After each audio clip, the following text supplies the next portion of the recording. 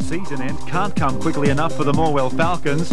At one time as high as fifth on the league table, the Falcons buckled under the weight of Sydney United. David Zdrilic made it 1-0 after 26 minutes. The Crows needed maximum points to keep their top six hopes alive.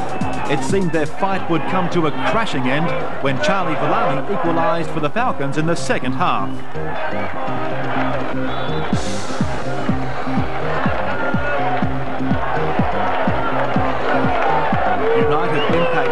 Sean Babic responded instantaneously with his fifth goal from the bench.